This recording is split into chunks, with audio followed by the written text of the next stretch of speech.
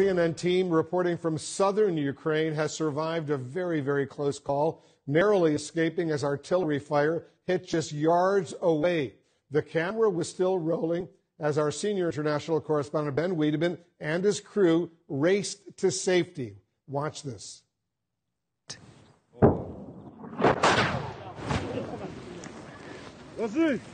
Okay.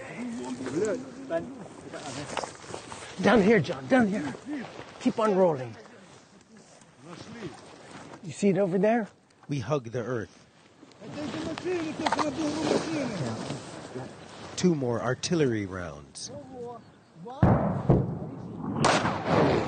Oh, shit. Да, да. And so we run with full body armor to the cars. Go, go, go, go, go.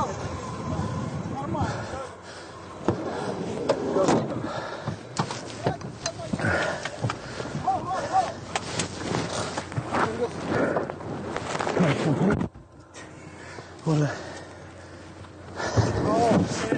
Ho! Okay, please. Let's go. Ho! Right, we're now we're trying to get out of this area as quickly as possible. Our other car completely destroyed. Thank God Ben Wedeman uh, and the crew, they're okay. Uh, ben is joining us now from Mykolaiv. Uh, ben, tell us more about this truly harrowing experience. Well, we arrived at these trenches uh, about six or seven kilometers from the Russian front lines. Uh, and it was relatively quiet, and we were just trying to engage the soldiers there uh, to find out how the situation was. And this shell comes slamming in very close to us. Uh, we took cover, and then another two shells landed. Uh, one of them maybe 10 yards from one of our cars. And so we went running towards the cars uh, to try to get out of the area after the officer in charge of that position told us we should leave because there might be more incoming rounds, only to find that our car one of the two cars was completely destroyed. All the windows shattered. Uh, there was petrol uh, all over the ground around the car. All the tires were flat from the shrapnel, so we had to pile into the second car.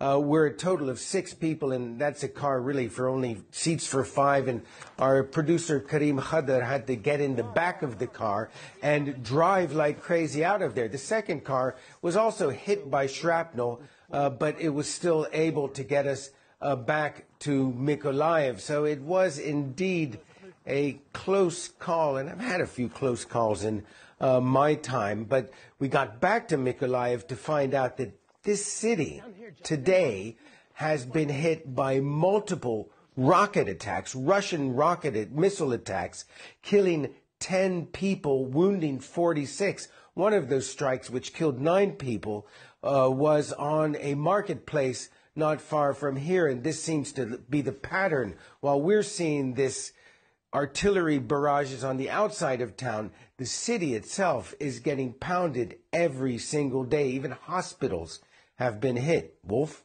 Well, thank God you're okay, and th- thank God the crew is okay. Uh, a, a, truly uh, horrible, horrible experience, and you've covered several wars over these years here at CNN, so I'm grateful you're okay and, and, and your whole team is okay. Thanks very much for that report, Ben Wedeman. Pretty scary stuff.